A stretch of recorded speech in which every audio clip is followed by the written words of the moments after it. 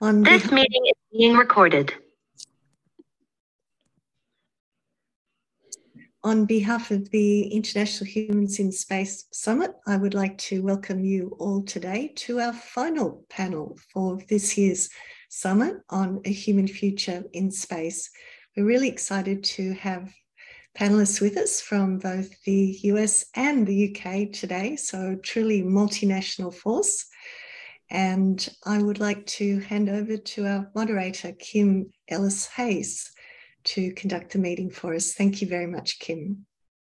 Oh, thank you, Rowena, and welcome everybody who's joined us. I'd like to welcome all of the panelists who've taken time out of their busy schedules to join us, and especially for those panelists who've joined us at dark o'clock to be able to do this panel. So I we all really appreciate it and it's really fantastic that you've joined us.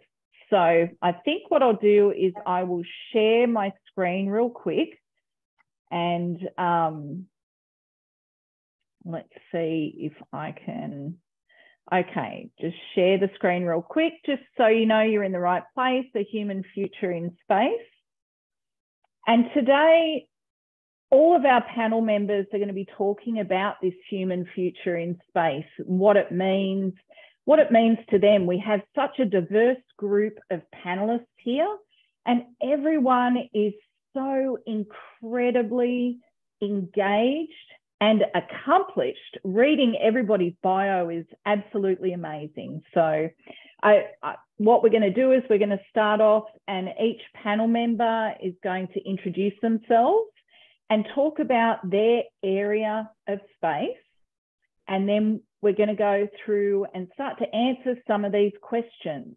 I mean, we're looking at right now, we're doing Earth dependent exploration, and human presence in space is expanding, but we really haven't gone much further than, well, we haven't gone further than the moon. And there are a bunch of missions which are planned, but in order to go further than the moon, we really need to have a set of technologies and techniques to allow humans to be able to exist in space to overcome some of those challenges.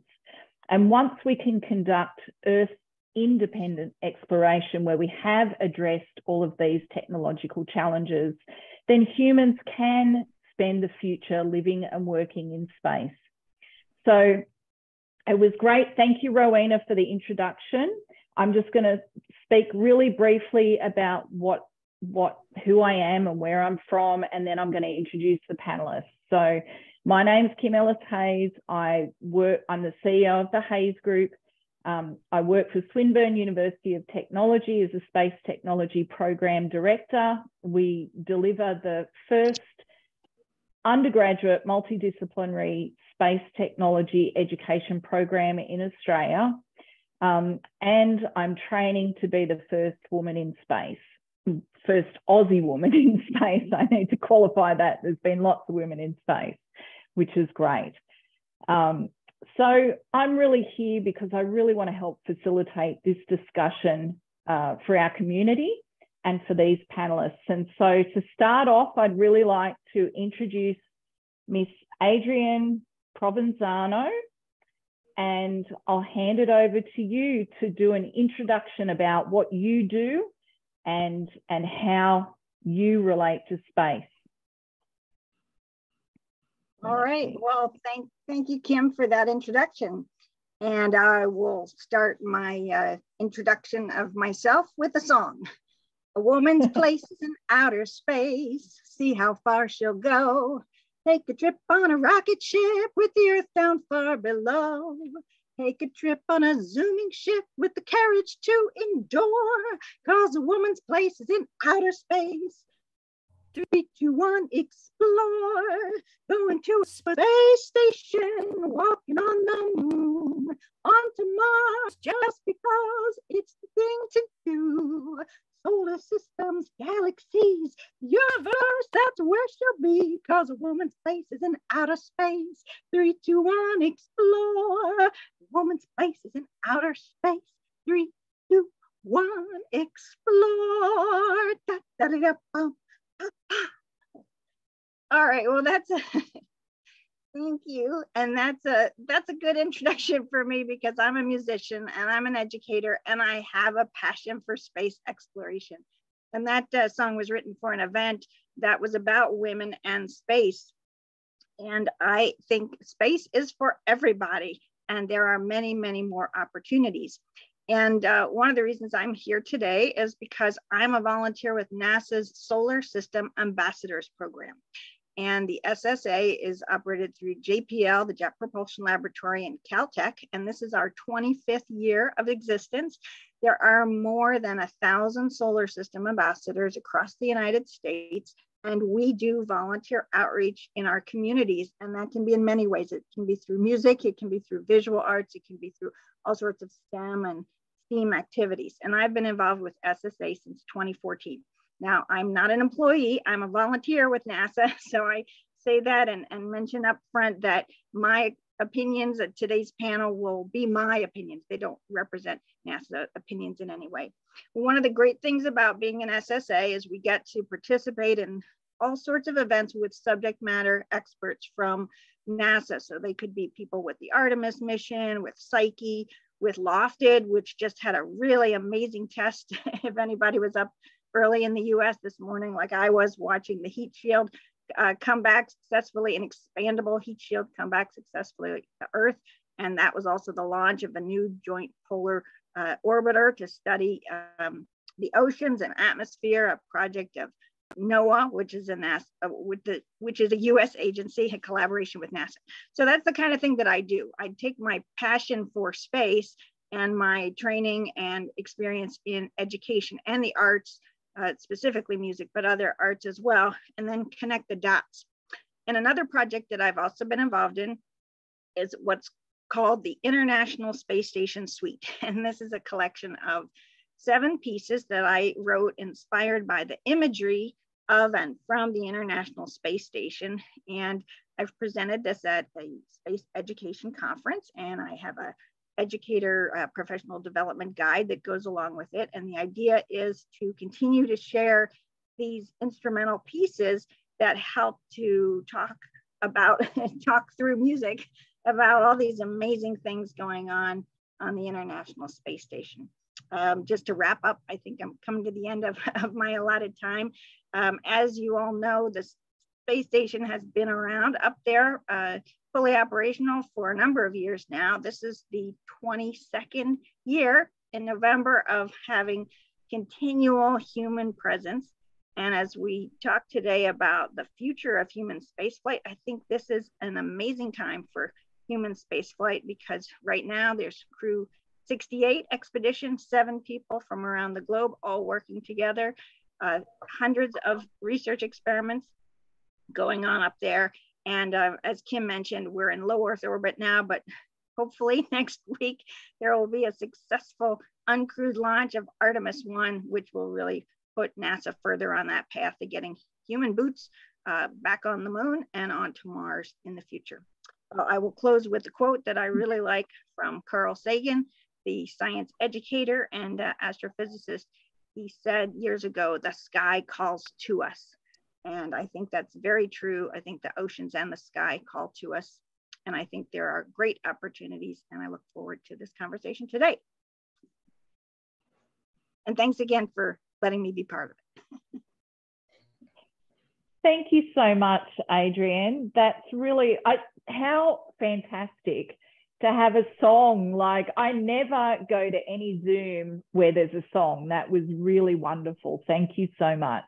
I think the arts really touches everyone involved in space because there's is so much to discover and explore.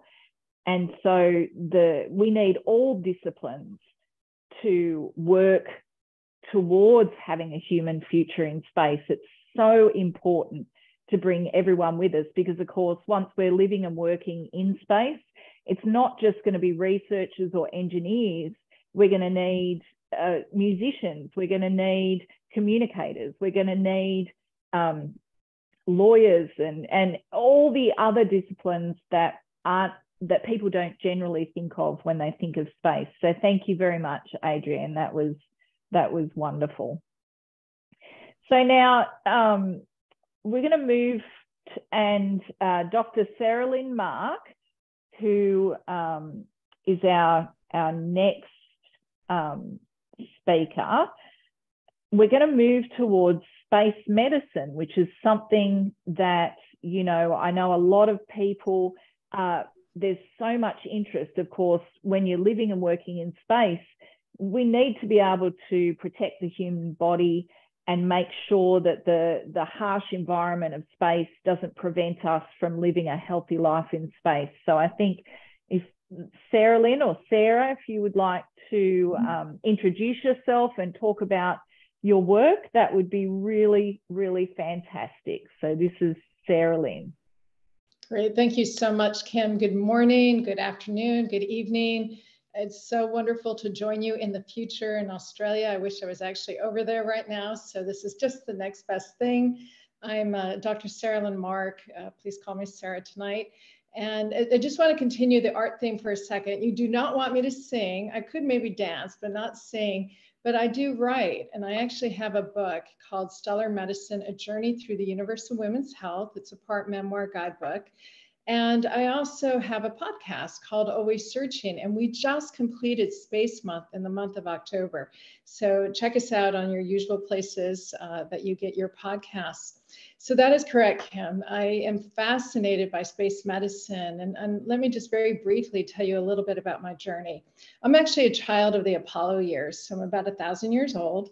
Um, but what I'm excited about is that we're going to be creating the Artemis generation. And I know how it's so inspired me to see people walk on the moon. And just imagine not only are you going to see people, but you may be part of that, especially as we've really hopefully democratize space through our commercial space partners. Um, when I was a little girl, I wanted to practice medicine and I wanted to practice on the moon. Fortunately, no one told me that women could not be astronauts at the time. Uh, at the time, you had to be a flight, so you had to be flying planes, flying jets, and women were not allowed into that. So I lived with my delusion um, that I could do it, and I actually became an astronaut finalist, got brought into the space program, and it's just been a joy ever since.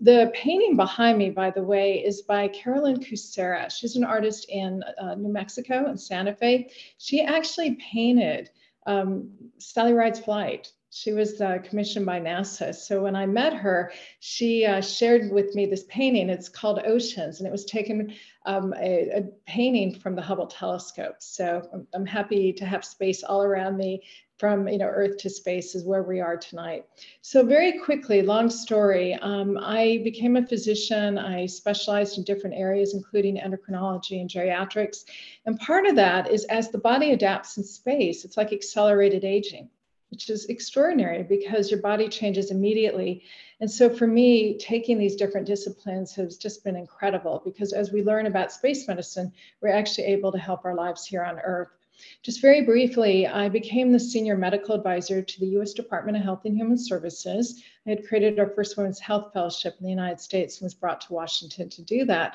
But lo and behold, down the block was NASA. So I also became the senior medical advisor for NASA for over 18 years, took a stint in the White House working at the Office of Science and Technology Policy during the Obama Biden years. And I also created a boutique consultancy called SolaMed Solutions, which has allowed me to consult with scientific and agencies all across the globe, providing scientific and strategic direction. I'm very delighted to share with you a nonprofit that I created out of my time at the White House. It was a confluence of events during that time. We had just published um, our studies looking at how the body adapts in space through a sex gender lens and we were dealing with Ebola and how protective equipment wasn't working. And I'll talk more about that tonight.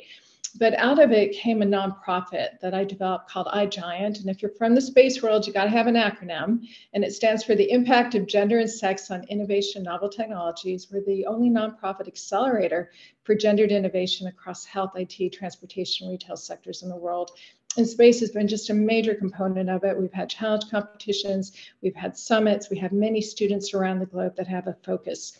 I recently also joined a really exciting company called Star Harbor, and they are the first, will be the first publicly accessible R&D as well as spaceflight training facility in the world. So I would love for you to engage with me on so many different capacities, as you can see through Star Harbor, through the podcast, through iGiant, because you know we talk about opening space for all. Well, right now we have to ensure that there's space for all of us on this planet.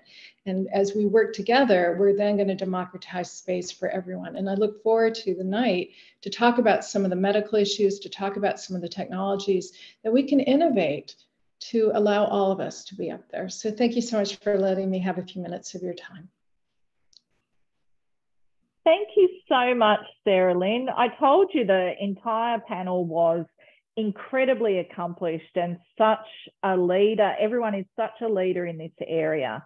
Um, it's such an honor to see a group of people who are working towards the the future of humans in space from so many different angles. And so i think from medicine to music um, honestly there's so many different areas and we we go across to law as well because of course law follows human beings to every part of the globe that they go to. And it's so important to um, I guess, you know, law helps us work with each other. It helps us resolve conflicts when we have conflict.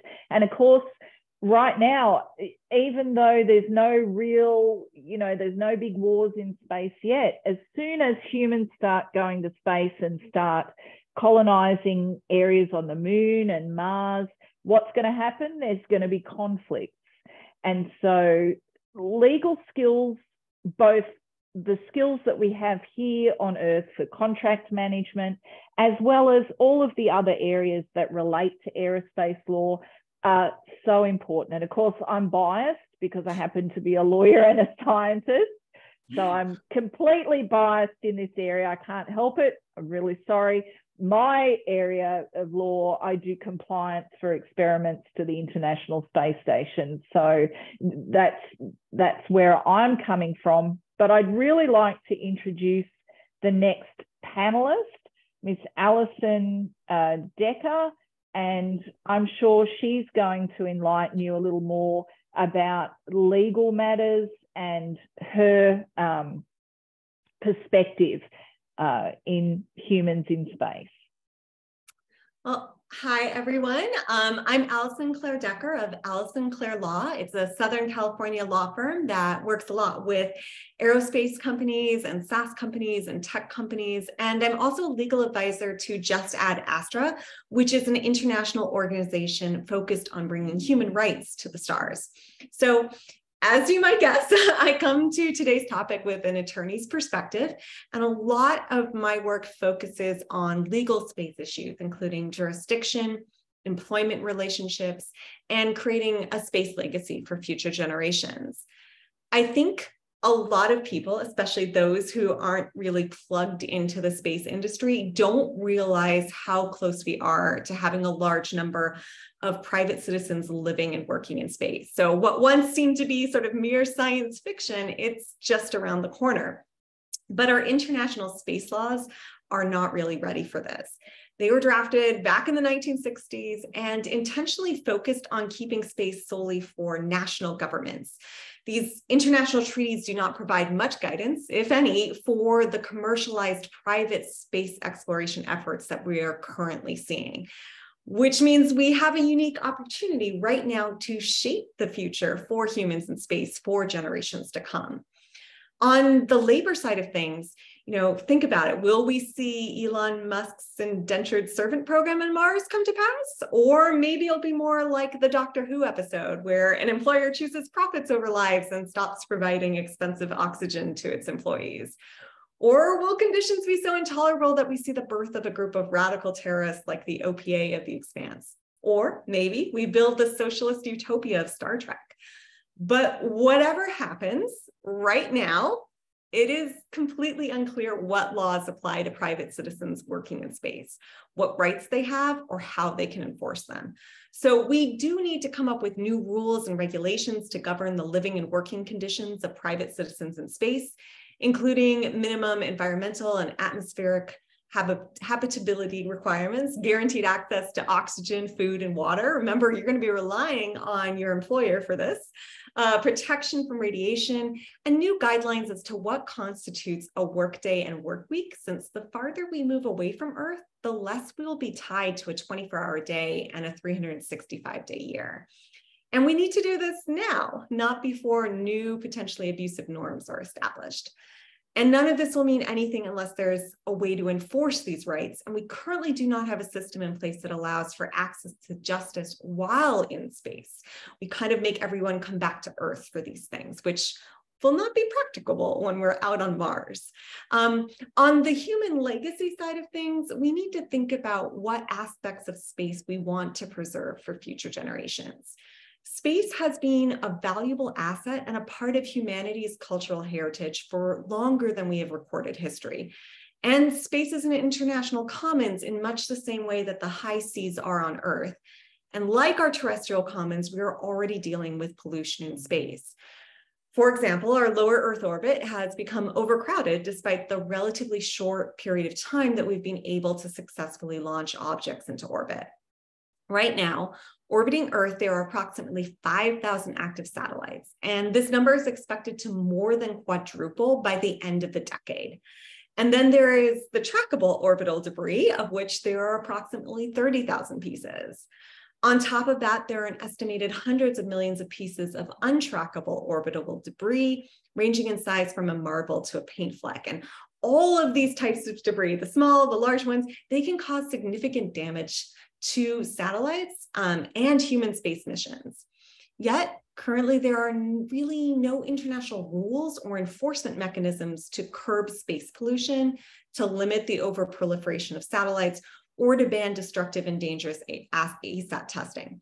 So, and I know there have been, there's been sort of individual groups and different, different communities and different governments that have come together to try to make rules, but there isn't sort of an overarching rule that we are following in the international law on this topic. Instead, we're, we're really relying on nations to govern their own private actors and to govern themselves without disincentivizing a sort of first come, first claim space exploration system. So ask yourself, what will our space legacy be? Will it be a strip mined moon or a Martian landscape free from any human debris? Will our space legacy be an unusable lower Earth orbit, or will the Milky Way still be visible from Earth in some places? And I think the solution to both these labor and legacy issues is to create regional space governance organizations because we need to be thinking in new ways about how we govern space as we become a truly multi-planetary species. And I look forward to, to chatting about all these topics with everybody from all these different backgrounds, because I think we all need to work together. You know, it can't just be boring law, it can't just be science. We have to, we have to combine everything together to really figure out what's going to work for us in space. Thank you so much, Alyson. That was, you raised so many really important issues. And you really touched also on the issue of intergenerational equity. And I think that one of the things that we should probably discuss once everyone's introduced themselves is this concept of you know, what can we do to ensure that space is a diverse, equitable, and inclusive space for all? And Alyson, that was your question, I think. Tell me if I get it wrong, but I'm pretty sure that was your question. And yes, I think that is one know, of my questions. Yes. yeah. So so the idea of intergenerational equity to make sure that we don't pollute the environment in a way that means that future generations can't access resources, can't travel into space, and can't do the things that we can freely do now before we've messed it up for the, the next few generations. It's also an important idea to make sure that as we move into the future, we're thinking about our children and our grandchildren and, and all the generations to come. So thank you so much, Alyson. So our next uh, panelist is Myles Harris, and he is currently in London, right, Myles? And it's dark o'clock. So thank you so much for joining us.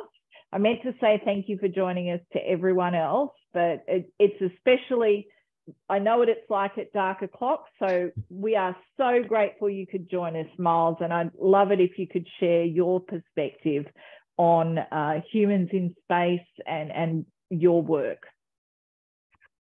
Well, thank you very much, Kim. It's it's a pleasure to be here. It is quite late here in London, but um, it's been amazing so far listening to all the other speakers. So thank you very much for, for letting me be here. Um, so my name is Myles Harris. I'm uh, I'm a nurse by background, um, and I'm just coming towards the end of a of PhD at University College London in risk and disaster reduction.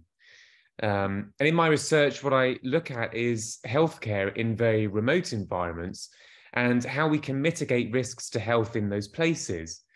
Um, and one of those environments that I closely look at is obviously in space, space arguably being one of the remotest environments. Um, and this led me in in my research to put together a research group at UCL called the UCL Space Health Risks Research Group. And we're a multidisciplinary community of researchers and practitioners who have come together to investigate health in space in order to benefit life back on Earth. We have a variety of different projects, but our flagship project was an analog mission, which we did back in May 2022. Um, this analog mission was a, a, simulation of the human exploration of another planet. And the way that we did this was we went to a remote and uninhabited island on the west coast of Scotland.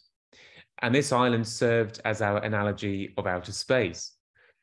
The, our analog astronauts, who are our research participants, uh, we kept the location of the analog top secret for months. So they didn't know where they were going. All we said was they need to go to a small town on the west coast of Scotland called Oban by five o'clock on a Friday, and we would do the rest. And that would allow us to bring the analog astronauts to the island. And when they stepped off the rocket, the powerboat, um, they stepped onto the island, this other planet, and they saw it for the first time. Much like when an astronaut opens the rocket door, they see the planet for the first time. So, if anybody's been to Scotland before, you'll um, probably realize that uh, it doesn't look like space. It's certainly not very red. It's usually covered with a lot of heather and it's very green because of all the rain. Um, so, but we weren't actually interested in making it look like another planet. We wanted to make it feel like another planet. And by keeping the island's location secret, that was one way of doing that. But we did a number of other things as well to increase what we call the, the fidelity, the realism of the simulation. The analog astronauts were a variety of different healthcare practitioners. We had doctors, we had paramedics, and we also had um, non registered healthcare practitioners as well, first aiders. And when they were brought to the island, they were given a bag of medical equipment. And they were told if you ever need to use any of this equipment, you can't be resupplied because you're on another planet and it would take far too long to get this equipment to you. And we also manually delayed communication as well. So they couldn't reach out to an experienced practitioner and get some live, um, live advice. Um, so they were completely on their own. And this was another example of how we simulated the human exploration of another planet. So during the mission, the analog astronauts had an aim, and the aim was separated into two parts. They had to survey this planet to identify areas of geological interest and also potential landing sites.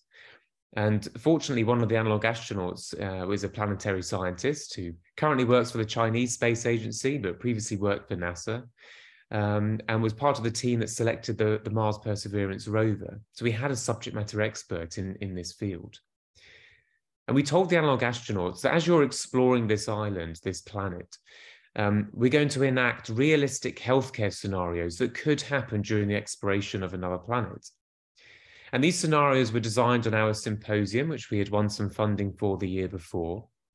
And these scenarios were designed purposefully not to just have physical health problems, but also psychosocial and mental health and well-being problems as well.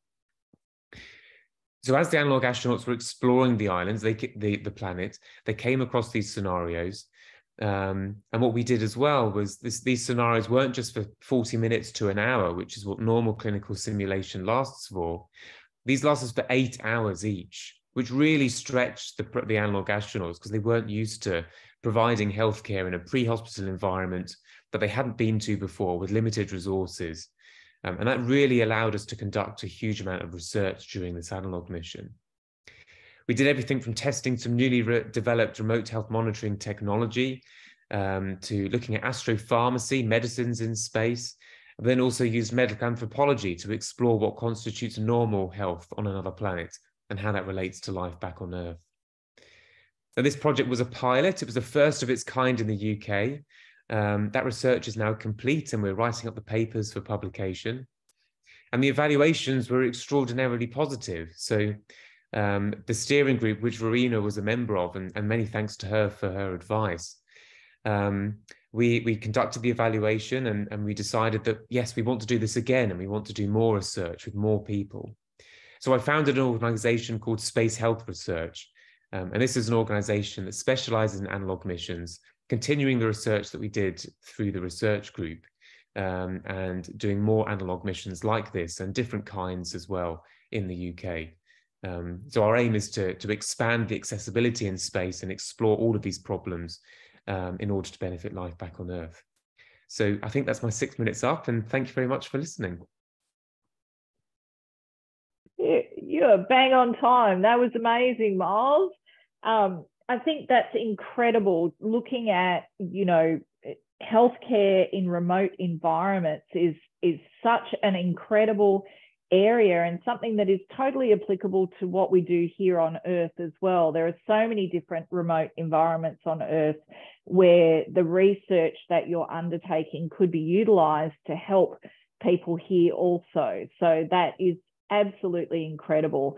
And uh, you're right. What are you going to do on Mars if you fall down, break a leg, and need some sort of specialist surgery? There are so many different scenarios that even happen here on Earth where we have people even, you know, sort of close to emergencies like that. So this is such important work that you're undertaking and you know i congratulate you. In fact everybody is undertaking some very important work because the human future in space is going to depend on the work that people are doing now um, for the future. So thank you so much Myles i think i'd like to introduce our next panelist um, who is ms Gitika Gorthi and um, she'll introduce herself and tell you about her work and, and what she's doing right now.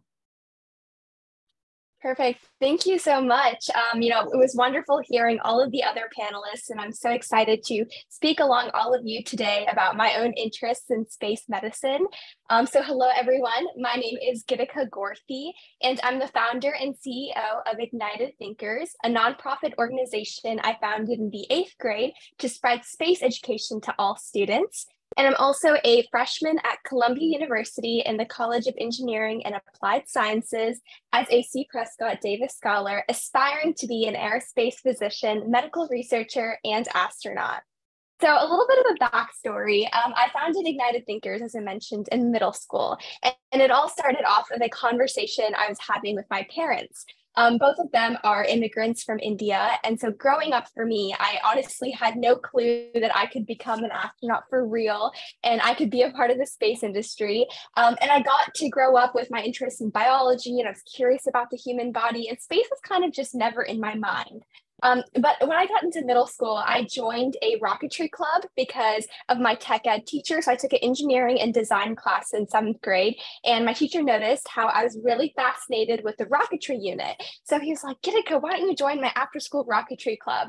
And I was like, okay, I don't know if I can do this, but I'll try. And I ended up falling in love with building and constructing model rockets. And um, in eighth grade, I started constructing my own. So instead of using the kits that were already pre-made and me just kind of gluing it together and flying at the back of my school, I started actually building my own fins, designing them on CAD, laser printing them, and got really excited with how we could manipulate model rockets. And I built the biggest one I had so far, and I drag my parents along to a launch site that because my rocket couldn't be launched at the back of my school because it was very large. And so my parents had to drive me like 30 minutes out to like a big field. And on the car ride back home, my parents were just amazed with how my rocket flew. They have never actually seen a rocket fly before, let alone a rocket that I built.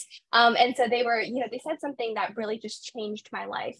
Um, specifically, my dad, he was on the car ride back home. He said, Gitika, you're so lucky to have the opportunity to build and fly a rocket at the age of 13. I've never seen a real or a model rocket fly till now, and that's because of my daughter. So you're very lucky to have this opportunity in middle school. And then it just all clicked to me that I am very lucky. I took it for granted how I have a rocketry club in my middle school. And so then I was like, you know, um, the inner Girl Scout in me came out, and I knew that I was going to do something about this. And I was going to create this middle school rocketry club experience I was very fortunate to have to every student across the world.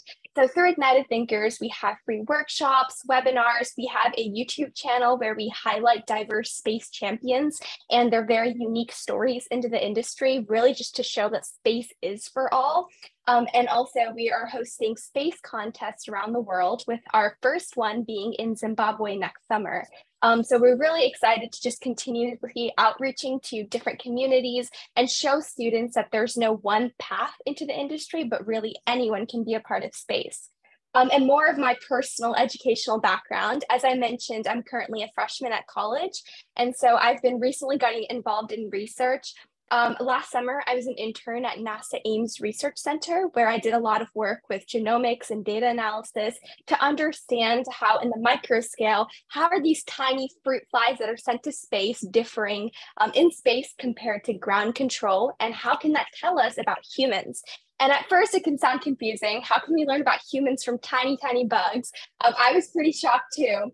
Um, but you can see that there's so much, you know, especially in the cardiovascular diseases, there's a lot of similarities between um, fruit flies and humans. And so by understanding fruit flies genes and how they behave in space, we can potentially understand a lot about astronauts and humans in space. And so I did a little bit of that research um, and I knew that this was my future, especially after that internship. Space biology just greatly excited me even more. Um, I started re reading papers and getting involved with more research experiences. I worked with Baylor College of Medicine Space Medicine Center, University of Central Florida. And now um, I recently got involved with Columbia's Medical Center. They have a research lab called the Kuo Lab that I joined, and they do ataxia and tremor research, which I've been slowly trying to integrate with space as well. So really just trying to combine both of my passions for medicine and space together to develop technology to understand. Like I, my future goal really is to develop technology that can be used in space and bring that back down to earth to make healthcare more accessible for everyone. So really, I think I can relate with both. Um, Sarah and Myles, they talk about space medicine, but I'm also really excited to hear more about Adrienne and Alyssa's, Alyss, um, Alyssa's uh, more background in law and music um, and how it kind of intertwines to make humans uh, be able to travel further into space and to improve life on Earth. So thank you, and I'm looking forward to this conversation. Thank you so much, Gitika. I, I absolutely believe you will develop that technology for space in the future. I know that, you know, that's really the driving force behind what everyone does is having that belief in themselves and that real interest and passion for space and what they do. And you've seen here across all of the different disciplines uh, related to humans in space, each one of these panelists have a unique viewpoint and are undertaking some unique uh, research and business and, and really helping to improve the space ecosystem as we move forward. So I think thank you everybody for your point of view. And we've got about 20 minutes left. So I thought maybe what we might do is pose a couple of questions for the panelists. And uh, we have a couple of questions of our own. I think, you know, that question of what can we do to ensure that space is a diverse, equitable, and inclusive space for all. We kind of like everybody really touched on that in in a small part, and so I would welcome any thoughts from the panel on that particular question. And if anyone in the audience has a question that they would like to ask the panel, please type it in the chat box. And um, if we can go, through, you know, if we can get to them all, that would be that would be really great. So I don't know who wants to start. Just go ahead and and uh, and unmute if you have something. Um, Kim, thank, for you for the question. And I just have to say, I'm in all of all my panelists. It's truly, I would go to space with all of you immediately. So I knew I'd be entertained. I'd have my rights protected, and I would have people watch make sure I survived it. Um, you know, when we think about inclusion, diversity, equity, I sometimes use analogies, and, mm-hmm. and one of them that I think we could use for the space program is inclusion would be that you're actually invited to participate, to go into space. Um, diversity would be maybe you're asked to do a spacewalk, but where there would be equity is when you're actually given a spacesuit that fits you, so you can do the walk. and, and it's really it's i know we talked a few years ago about the whole issues of spacesuits and, and i really think it translated down to are we looking at the universe through this sex gender lens? I had the privilege to testify in front of the national space council the white house national space council in august 2019 and at the time vice president pence actually asked me about this. And so it crosses political lines it crosses social demographic lines it's really a human rights issue. Um, and I, I just want to say that I look at again the world of acronyms, and if you're not given the resources, opportunities, and tools, ROT, your career is going to rot on the vine. And so it really behooves all of us from the beginning uh, to, to think about that. And I think we're all starting to do that from our own particular angle and our own particular lens to make sure that we're given the resources, that opportunities are open up wide, and that we're also given the tools to do our jobs well and safely. And once we do that, we can truly democratize space. Well, thank you, Sarah Lynn. I think that the word democratization of space, you know, we've moved away from governments, you know, Alyson touched on the International Space Treaty was written in the 1950s, you know, at, sorry, 1967. Uh, and it really talked about how uh, space agencies would do things in space. It didn't make much accommodation for private companies and, at all. And so now we see the development of public private partnerships between space agencies and commercial entities. And we've seen the miniaturization of technology, we've seen reusable technologies being developed. And so I think that all of this is feeding into that idea that space is for everyone. So I wonder if any of the other panelists have any thoughts about uh, diversity and equity in space. And so firstly, I mean, I agree with everything that, that Sarah said and what you just followed up with, Kim. And one thing that I was thinking as well, and this was to do with our analog mission that we did earlier in the year, was um, how do we communicate this with um, with people? Because it, it is a, a human rights issue, and and space is for everybody. And one thing that we did as a steering group was we, we not only wanted to do excellent science and, and really engaging research that had a meaningful and tangible impact for life back on Earth, but we wanted to synthesize that with the arts as a way of communicating that. So we applied for funding to, to, um, to have a, an artist in residence um, who came on our mission to purely be an artist and to do whatever art they thought was relevant. Um, so our artist was Dr. Sarah Fortes. Um, she's a, a, performing artist and, and, a sculpture really by background. Um, and she did some sculptures, like some live castings of hand positions, like taking a, a radial pulse.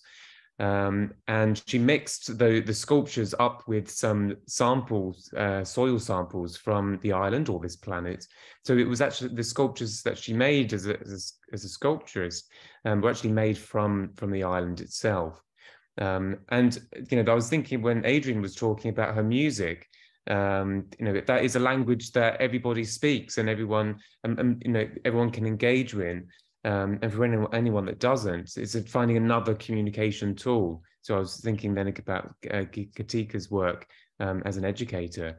Um, uh, so I think really the arts is a way of, of transcending all of that and demonstrating that space is is for everybody and everyone can benefit from it. That's really great. i would invite. Uh, so Alyson, do you have a something yeah, to I, add? I think Mm-hmm. I think one of the things that that both um, Dr. Dr. Mark and and uh, Myles have, have pointed out is that we have to be very intentional in inviting people into space. Um, so often, I think we still default to these concepts of like what an astronaut looks like or what a space program looks like or who do we want on our crew? And we default to these stereotypes from the 1960s and the 70s where there was really only one type of person and we didn't think outside of that box. And you still see this a little bit when we look at the restrictions that you have for astronauts in general and they're they're a little bit looser definitely in private companies they have been pushing sort of boundaries making more diverse crews but you know we are still only you know a lot of the space agencies are still only recruiting certain types of people. They're not recruiting people who might have disabilities, which is probably less of an issue in space than it might be here. Um, they're not looking necessarily to to find people from outside communities or different areas of the world that don't have their own space programs and inviting them to be part of of their space programs or of their national space programs. So I think we have to be really intentional in how we go out and look for people and think again about what everybody brings to the table. We know in, in businesses that a more diverse business that has people from outside perspectives, from different backgrounds, from different cultures, they do better overall as a business in the long term. Like they're just more productive. And I think if we take that sort of idea of what works well and bring that together, if we make a crew that's really truly international and, and representative of all of humanity, I think that's going to do better in the long run than if we just go with sort of like, okay, we want to do that like white male alpha group from the 1960s again, because that worked well maybe it won't work as well, or maybe it's not the ideal solution. So, really thinking outside of that box and inviting people into that space so that it's not just like, oh, well, we, we threw out a net, no one applied. No, we have to go out and, and really bring those people in. That's a great point. Sorry, sorry, I didn't mean to cut you off. I was just going to say, great point, Adrienne. Adrienne, what would you like to add? Yeah, I, I just want to dovetail on what Alyson said about intentionality, because if you look at NASA history and then NASA current programs, you see changes. There are also changes in national legislation that opened up more opportunities and NASA implemented that as well. So there's there's a lot of good history that's been written about that change in getting women involved in the program and getting African Americans involved in the program and, and making it a more diverse community of, of astronauts and not just astronauts because there are many more people on the ground involved. Um, the Artemis program has the line first woman, first person of color.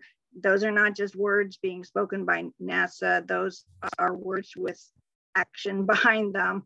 So I, I think that's very important. And then to that idea of accessibility, uh, I know ESA had a call for astronauts with certain disabilities to apply to be part of their programs. And there's a non for profit, it's not part of NASA, but there have been some former, at least one former NASA astronaut that was involved. It's called Mission Astro Access. And I think one of the participants actually was part of this conference. Uh, he's going to fly uh, on a mission coming up in December. Uh, they've already had at least one mission where people with disabilities have the opportunity to fly on the zero G parabolic flights and do research. So if someone is blind or someone is hearing impaired, they're doing research while they're on the flight to help to understand what would make it accessible for someone with their particular challenges to be effective on further space missions. So I think that intentionality and others have, have spoken to that idea as well, I think is all part of it. That's they're all wonderful points. Gitika, do you have uh, something to add? Yes, yeah, those are all incredible points. And just to kind of build up what's already been said, I think that first reaching out to unique audiences is critical. Um, i think a lot of times and through untraditional means i think in the space industry we all understand space is important and this is why we need to invest in the industry and this is why nasa is given a billion dollar budget but the regular you know public who is not involved in space doesn't necessarily know or understand or take the time to get to know um, why space is really important even though all these tools and all these podcasts and resources are out there and i think it's because space is like a little bubble so we just kind of are like echoing back and forth to each other why space is important, but it's not reaching the people and the common public. And so I think we need to start taking more action, investing, going on traditional paths. So like through music, as um, you know, Adrienne was saying, through movies, talking with untraditional ambassadors, not just astronauts, but also, you know, performing artists and trying to get um, people who are not involved in the space industry to understand and communicate it to people who may listen to them. Because I think it's very difficult just in the space industry to try reaching out and saying why space is important and why we need to invest. And also another point is we kept mentioning how space has, you know, historically been very undiverse. And that's why I'm really glad for commercialization in space. I know there's a lot of, you know, is it good? Or are we is commercialization even the right path that we're going in? But you know in terms of diversity i believe that commercialization is really starting to break those glass ceilings. Um, most recently in blue origin one of my really close friends Sara Sabry she went and became an astronaut. She's the first egyptian woman to fly to space and I think seeing individuals like her who wouldn't necessarily get that opportunity through government agencies like NASA to be able to go to space, and now she's inspiring, giving inspiring talks all across Africa, it just is like a testament to how diversity is starting to grow in space, and commercialization is really propelling that. And I think the last point I really wanted to make in terms of increasing inclusivity in space is age a lot of times we talk about socioeconomic status, ethnicity, geographic location, or educational backgrounds, but not age. Um, I think every time I've been to a conference, usually it's on the older side, which is not to blame at all. But I think we also need to make a conscious effort to start involving younger students because they are the next generation who will be honestly leading all of these visions and goals we're talking about and making them a reality. And so, really I mean, I was listening to a conference um, and Blue Origin was saying they have around 20,000, maybe it was 200, not 20,000. It was like 200 open engineering jobs. And it was just crazy to me that in this market, there are so many engineering jobs open and no one's filling them up. So I think we need to really make a conscious effort to kind of get this next generation pipeline into the industry and continuously make an effort to include them in the conferences for free because a lot of students won't make the effort if they have to pay money, raise awareness, um, or like find out how to earn money to be able to go to a, attend a conference that costs $500. So I think virtual conferences like these, as well as making student conferences free, um, is, is critical to increasing inclusivity in space. Those are all fantastic points. Thank you so much for sharing that point of view, especially your point about, you know, communicating space to everybody out there in the general public uh, I mean, we're all living in a space age. It's just that all of us who are passionate about space actually realize how much we all rely on space every day for everything that we do. And so it's so critical to be able to communicate that. So I think we only have about eight minutes left. So I, I think what we might do is to um, go through each one of the panelists and get you to give uh, your final thought on humans in space. I think that um, it would be great to hear everyone's point of view on that. So I think we'll start this time from uh, Myles, if if that's okay. Of course. I mean, my final thoughts are, you know, what a privilege to be part of this panel, to have such a diverse um, passionate and talented group of people that are doing amazing work. You know, thank you so much for for sharing this panel with you. Um, and you know, to to summarize, I would say that you know th- there needs to be more events like this where we can come together and explore some of these issues and benefits of space explorations, um, particularly humans in space. Um, and particularly for how that can benefit life back on Earth. That's really key for me, and I think that's been a common thread throughout the whole the whole panel. So thank you very much once again. Thanks so much, Myles. Adrienne, would you like to uh, contribute next? Sure, I, I will repeat what Myles said. This is really an amazing group of people. I'm so glad I'm getting to hear what everybody's working on. I think there's a bright future for, for human space exploration and that's also the, all the robotic missions. So we don't have people in helicopters yet on Mars, but we have people in helicopters virtually because of all the ones that created the Ingenuity mission. Um, I'll also say that I think there, there's much more of a role for uh, sort of different kinds of ambassadors like uh, the actress Nichelle Nichols from Star Trek. She was recruited by NASA to help recruit people into NASA. And so we have new generations of people, as Gitika says, to get students going on one week or two week or three week missions or semesters in space. That would be really a wonderful idea to, to get more people involved. And I, I bet she could start it and run it too. So I'll just toss that out as an idea uh, I think we have a great future in space and definitely have the arts and all these disciplines involved. Thank you so much, Adrienne. That's, I mean, it's just fantastic. All of the uh, things that are happening around the world to try and get more people from more disciplines involved in space, because of course we all know the idea that the more diversity we have in any program, the better outcomes that we receive. So I wonder um, if Alyson, you might share your point of view. So I'm I'm just so excited to see the progress that we've been making in space and sort of like our return to space. Um, I the the increase that we are seeing in space activity is just exceptional in the past few years. We went from maybe having a launch maybe a couple times a year to we're seeing launches pretty much every week now. And I'm very excited to see a lot of the space agencies and the private companies sort of thinking in space in, in new ways.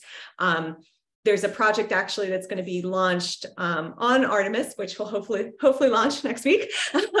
Artemis One, uh, organized by um, the German Space uh, Agency to test uh, new radiation vests based on women versus basing it on sort of male models. Um, and I think it's a great step forward that we're thinking about like, how are we designing space for the future to make it so that everyone can be part of it? And I'm just really excited to see these new steps forward. And I hope we keep progressing. I hope we progress to making things better and not just going like, let's repeat what we did before, but really trying new things and and I think when we do that, we are going to see in in my lifetime people living on on Mars, and that's just so exciting to me. I couldn't unmute for a second. Apologies. Thank you so much, Alyson. Um, if in the last three minutes that we have, if Gitika and uh, Dr. Dr. Mark could uh, make their comments. Yeah, so I want to you know, thank you for this opportunity to speak on this wonderful panel. And my words are you know, kind of echoing what everyone else has already said, which is I am excited for the future of space. I believe it's the next place that we need to continue exploring. It's a new environment that'll enable us to really just push our limits historically space has enabled us to push our technological limits like from developing the technology we can use today like gps solar panels um, you know, navigating systems to be able to understand our own planet and to understand the effects of climate change. I think all of that has really come from space exploration and will continue to, you know, solve challenging problems and challenging questions through the space industry, which will ultimately allow us to develop new technology that'll always come back down to benefit humanity. And I really just want to make it that everyone who's listening knows that everything that we're investing into space really is to help everybody on Earth. And I think that space is really just that next place we need to continue tackling um, for the betterment of society. Thank you. Well, I want to thank you for inviting me to be part of this panel and for all of you spending some time with us. I know we wish we probably had two or three more hours to really take the deeper dive. Space medicine to me is so fascinating. It's something that is a passion. Every single system of the body adapts. And what's remarkable is that we're developing countermeasures to try to help the body adapt to microenvironments, as well as procedures to help people adapt when they come back to Earth. And there's so much application for how we need to live, live our lives on Earth. So I do see that synergy. And there's also the tech transfer aspect of it. So as we develop new technologies to allow us to live in among the stars, we can improve our life here on Earth as well. I just want to say that we talk about sex gender issues, and I really want us to take a non binary approach. I want us to look at our lives through an intersectionality lens. It has been mentioned about age, but every aspect is what makes us what we are and who we are. And I hope space will ensure that we continue to do that. We do need to provide the tools, we do need to provide the resources, and certainly we need to provide the opportunities. And I think conferences and panels like this will certainly help us and lead us in the right direction. And I look forward to having a panel with all of you when we're on the moon together. Thank you so much. Dr. Mark, and, and thank you so much, everybody, for sharing your views and sharing your work. It's just incredible. I think that every single one of you on the panel and those people in the audience who are passionate about this topic, you are going to be the people who develop the programs that mean that humans can live and work in space independently from the Earth. So I'd like to thank everyone for attending, thank all the panelists, and hand back over to Rowena. Thank you very much, Kim. I'd like to say a huge thank you to you and to all our panelists today. It's been really fantastic to have you all with us and to listen to the, the wonderful and inspiring discussion that, that we've had. And I think each and every one of you shows that we can all play a role and we can all aspire to to be part of space and the future of humans in space and I think that not only the people who are here today, but the people who are able to listen to the recording will get an enormous amount out of this. And also, just prompting people to think about these kind of issues is really, really important. And I completely endorse what Sarah just, just said about the sort of approach that we, we should be taking. That's, that's very much how I feel about it too. And I think the more that we can communicate that, that message, hopefully, the more we'll get it out there and the more it will actually start happening. So thank you all, all again. So I'll just give you a very quiet clap on, on behalf of us all. Um, and we hope that you'll join us again another time. But very, very grateful and thank you, especially to Myles for staying up so late. That was a really big sacrifice on your behalf, but uh, we're, we're very grateful. So thanks again, everyone. Thank you. Thank you, Thank you. Thank